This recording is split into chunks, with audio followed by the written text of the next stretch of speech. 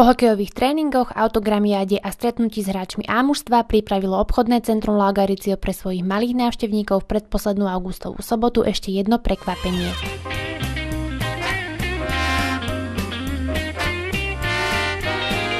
Na ľadovej ploche v obchodnom centre sa dnes chystá detský karneval. Malí návštevníci si môžu vyrobiť vlastné masky v tvorivých dielničkách. Každý mesiac je to nejaká téma.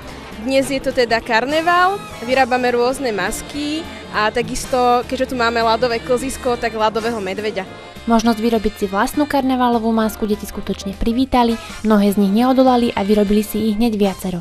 Hoci najčastejšie siahali po maketke draka či klasickej škraboške, fantázii sa medzi nekládli a tak mnoho masiek vznikalo podľa ich vlastných predstav. Použila som obľúbenú farbu mojej sestry a moju a nech som to proste vyfarbila. Mhm. No tak budeme mať nejak do modrá, do fialová a vlastne bude to tak všelijak, také všelijaké tvary tam budú. Ja som si urobila medveďa. A ešte ideš niečo vyrábať?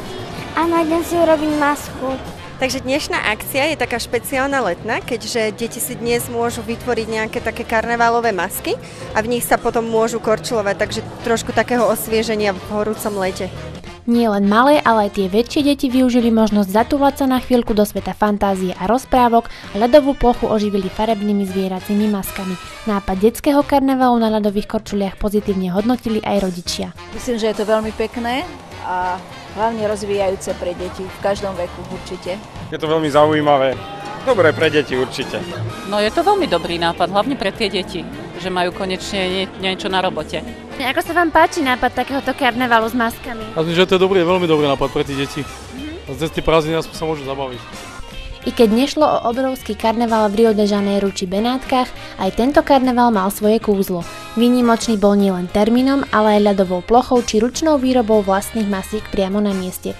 História karnevalov však siaha ďalej, než by sa mohlo zdať na prvý pohľad. História karnevalu siaha až do starovekého Grécka, kde vlastne oslavovali boha Dionýza a konali sa sprievody. Neskôr tento zvyk prebrali Rimania, iba že si zmenili meno boha a tieto oslavy sa volali Saturnálie, kde vlastne si otroci a páni menili, menili role a um, vlastne riadili sa heslom, že pod maskou je král žobrákom a žobrák kráľom.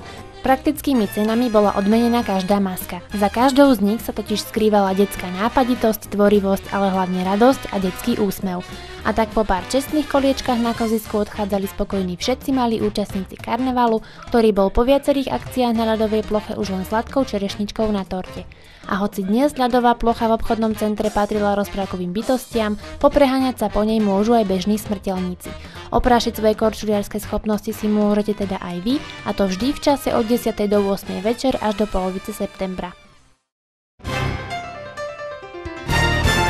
Aktuálne témy, zaujímavé reportáže a záznamy udalostí v plnej dĺžke nájdete na webe Trenčianskej internetovej televízie.